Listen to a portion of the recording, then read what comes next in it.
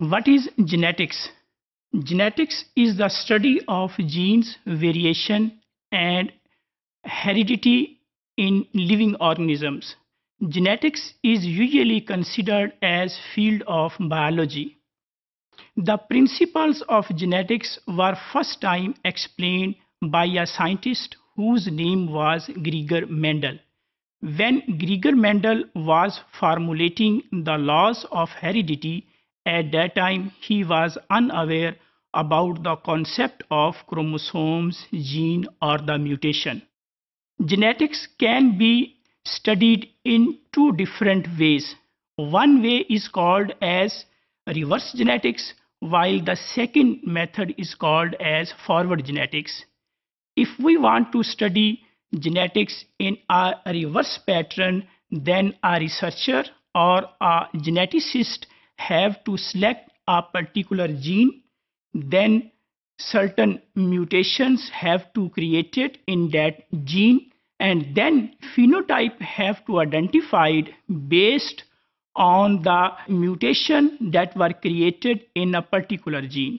If this methodology is used to study the genetics, then it is called as reverse genetics. While in case of forward genetics, a geneticist or a researcher have to first identify the phenotype, then based on the phenotype, certain mutants or for certain genes they are screened and ultimately a particular gene is identified that is causing mutation or that is the responsible for a specific phenotype.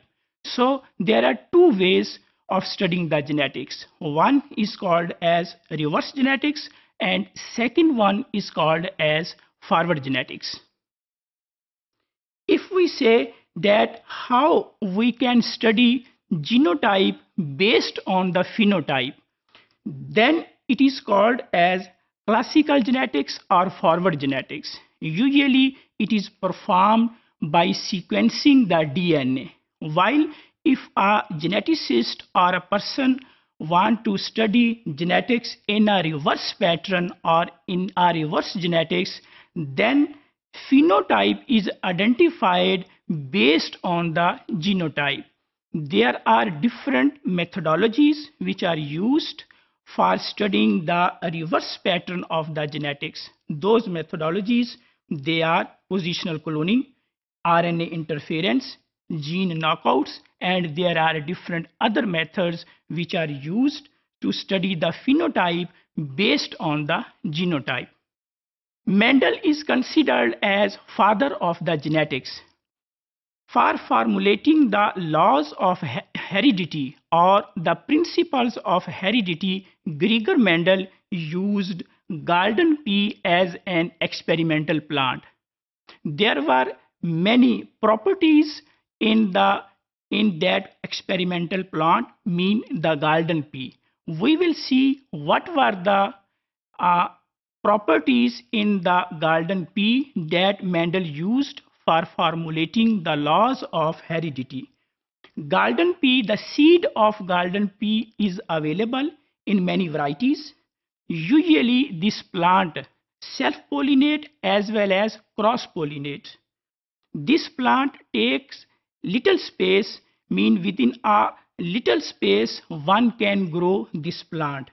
This plant has short generation time, mean within 2 to 3 months one can grow and can get the seeds of this plant. This plant produces many offsprings at a time.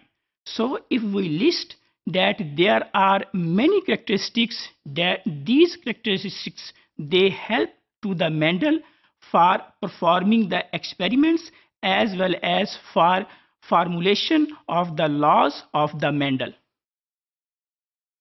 Usually it is said that Mendel was fortunate because why he was fortunate he selected garden pea as an experimental plant because uh, pea plant was available in many varieties when Mendel was performing the experiments of genetics at that time he had strict control over different plants that he mated, as well as the traits of the garden pea, they were clearly contrasting and they were clearly distinct from each other.